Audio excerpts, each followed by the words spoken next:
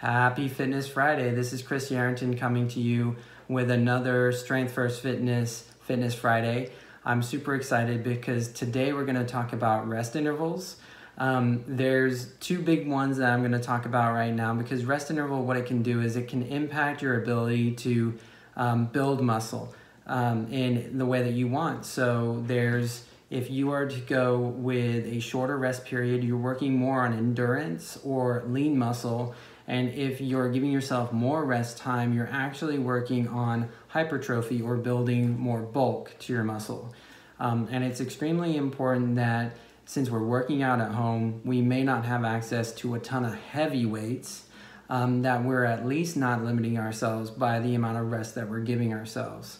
So if we're looking for a, a really big, impactful endurance um, to our muscle, we're gonna have around 20 seconds to 30 seconds of rest um, to really challenge your muscle because what happens is the body uses energy and creates energy in the recovery phase.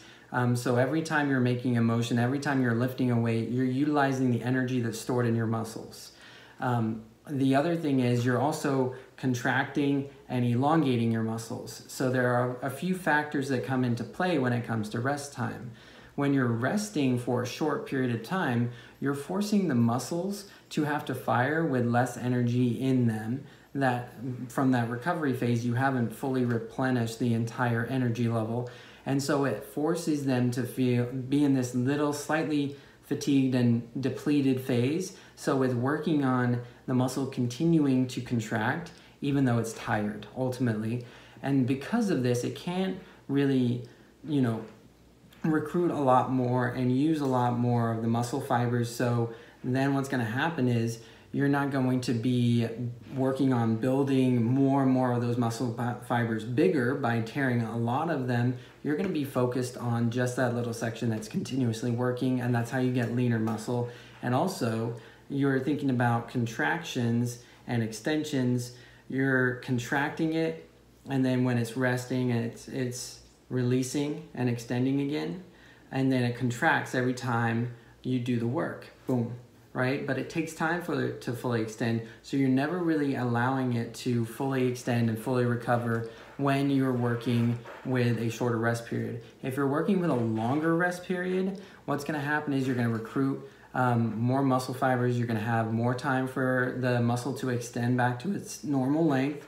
And then you're also going to have more energy that's being poured back in from the blood circulating into that muscle. So we're getting a good amount of rest and recovery and that time is going to be around a minute to two minutes it depending on how intense you're going like one rep max you might even go up to five minutes of rest to ensure that you are fully utilizing every single piece of that muscle and that muscle fiber. So it's really important that you're thinking about the rest time and what your ultimate goal is. So if we're looking at reps we're looking three to one those reps, three reps down to one rep, we're looking at, you know, around five minutes, four minutes for you to rest. If we're sitting between, you know, five to eight, then you're sitting in that time of about two minutes of rest because that's when you're really challenging those muscles to start that muscle growth, that bulking growth. Um, as soon as we get to around 10 reps and above, 10 to 12 and then up to 20, that's when we're going to start having less rest, a minute, 30 seconds, 20 seconds even. Um, and that's all, as soon as we hit 10, we're looking more towards lean muscle and we're looking less towards bulk muscle. Um, now, obviously, the weight is going to play a little bit of a role there too. But like I said, because you're working out at home, the thing that we can really control is going to be your rest time. The other thing that we can do if we're looking to get a little bit more of hypertrophy and building a lot of muscle um, in, in bulk, it would be more power motions. So it's going to be explosive motions. But as soon as we start to get explosive with weight, we've got to make sure we're giving yourself more rest time so that we can properly recruit the amount of muscle that we need. All right, so it's very important to know that as soon if you go completely unweighted and you're working more on cardio explosive uh, movements, that's great. But as soon as we start adding weight and we're starting to lift and be aggressive and powerful, those power movements, now we're really trying to build a lot of bulk muscle. You're gonna have to increase the amount of rest up to that three, four, five minute mark so that you can properly start to increase the amount of the amount of bulk to your muscle.